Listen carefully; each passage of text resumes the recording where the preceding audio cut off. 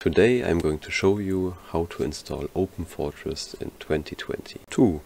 First of all, you have to make sure that you have installed Team Fortress 2 and Source SDK Multiplayer Base 2018, I think it was.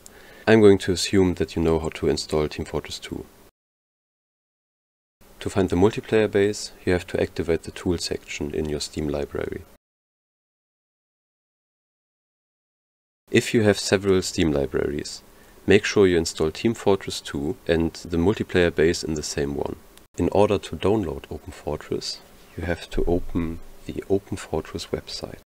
If the site would actually work, I guess it will in the future, you could download the program you need there. For now, the only way you can get the link is via the Discord that you also could access via their website, but uh, yeah, it doesn't work right now, so uh, whatever.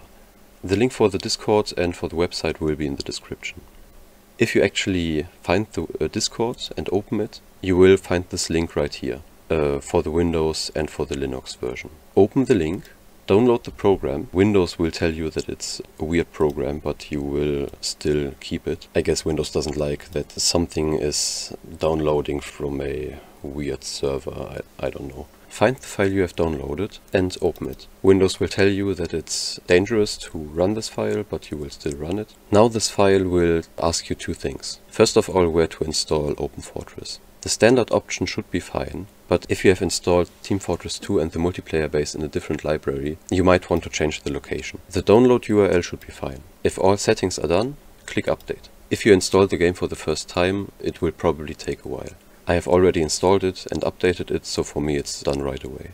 After you have done this, you have to restart Steam. OpenFortress should now appear in your library, and you should be able to run it. You can refer to my old tutorial if the program doesn't work for you. But you need the program to update the game, so it would be good to make it work somehow.